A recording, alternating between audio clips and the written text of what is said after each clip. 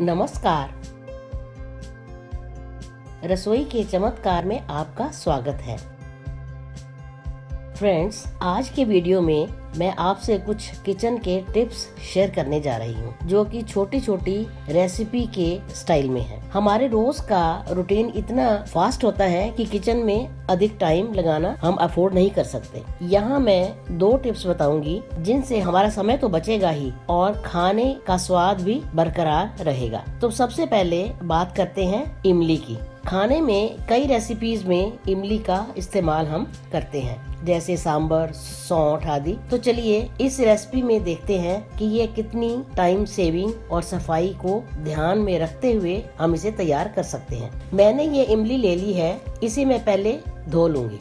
ये देखिए, मैंने इमली को धो लिया है। अक्सर हम ऐसे ही धोते हैं और कई बार तो बिना धोए ही इसे भिगो दिया जाता है। अब आप देखिए, ये इमली धोने के बाद मैंने इसमें पानी डालकर इसे भिगो दिया है।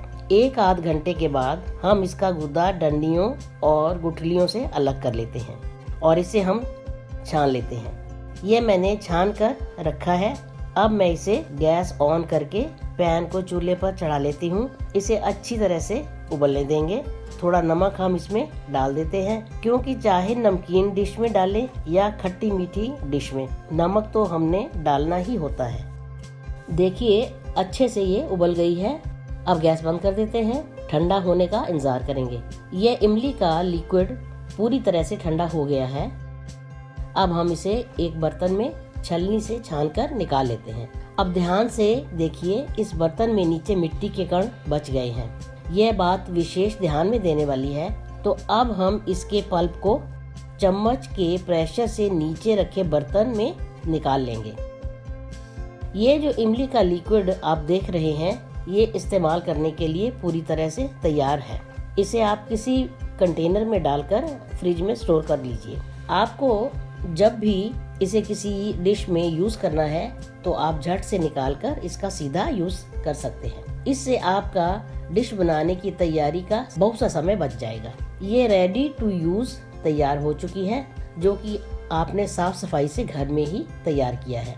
मार्केट में आजकल रेडीमेड सभी कुछ मिल जाता है। लेकिन हम उस पर पूरा भरोसा नहीं कर सकते। अब मैं आपके साथ एक और टिप शेयर कर रही हूँ।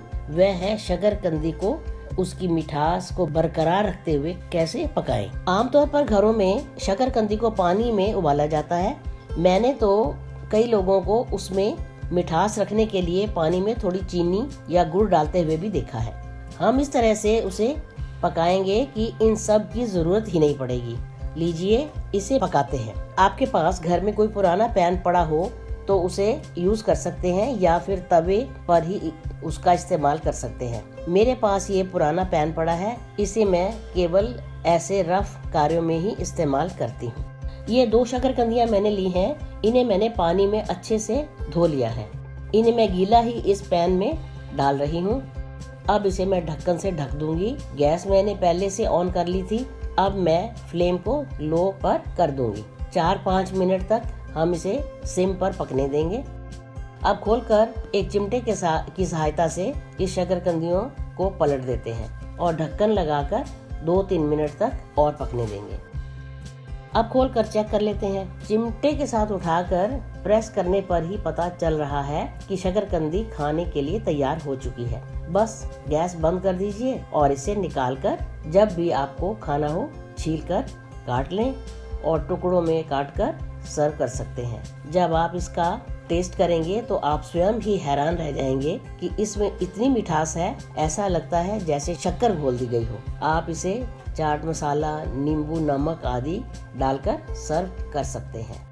अपने और परिवार के स्वास्थ्य को ध्यान में रखते हुए आप इसे बनाइए और सेवन कीजिए और अपने अनुभव रसोई के चमत्कार पर अवश्य शेयर कीजिएगा। वॉच करने के लिए धन्यवाद। नमस्कार।